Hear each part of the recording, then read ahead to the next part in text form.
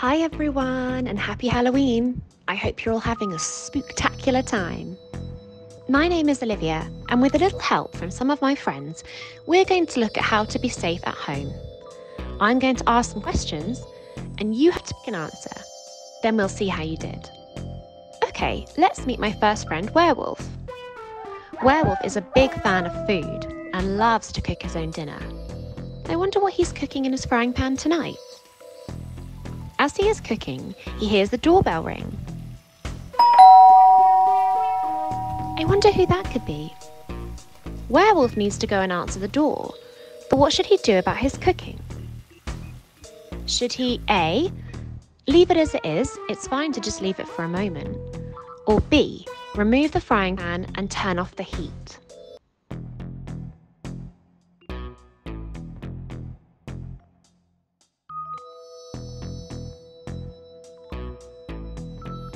That's right, it's B.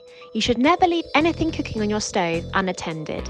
If you do need to leave the kitchen, make sure it is turned off. Let's look elsewhere in the house. This is Mummy.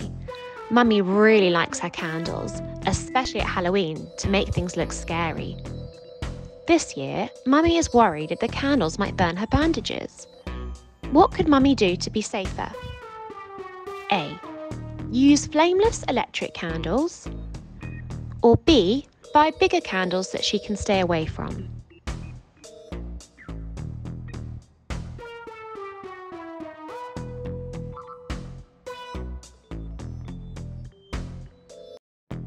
She could try using flameless electric candles. These are much safer than regular candles, but look just like the real thing. Who should we see next? I know, let's see Skeleton. Skeleton has recently learnt about the importance of smoke and heat alarms and wants to put them up in the house. He knows that you should always place a heat alarm in the kitchen instead of a smoke alarm.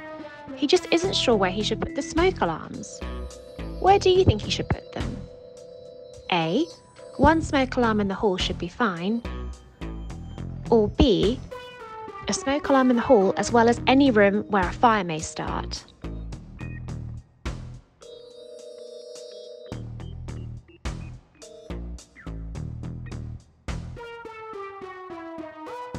You should have a smoke alarm in the hall as well as any room where a fire might start, except your bathroom and kitchen. You should also have a carbon monoxide alarm, especially if you have an open fire or a wood burner. Now that it's dark in the evening, Vampire wants to go for a walk.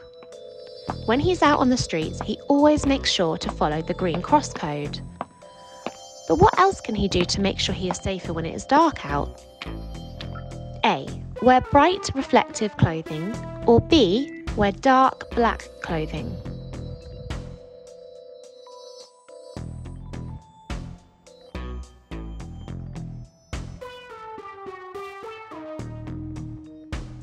That's right, by wearing bright reflective clothing when it is dark out, it means that we are more visible to other road users, like people who are driving around in their cars.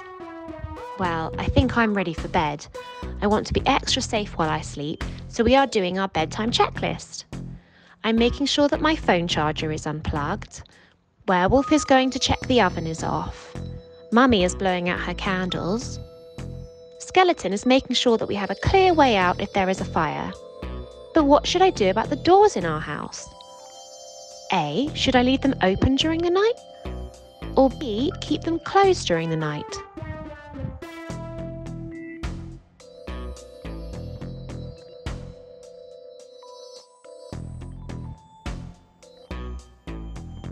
You're correct. We should keep them closed. If there is a fire, closed doors will slow down how fast it spreads, giving the fire brigade time to respond. I hope you've had fun and maybe even learnt something new.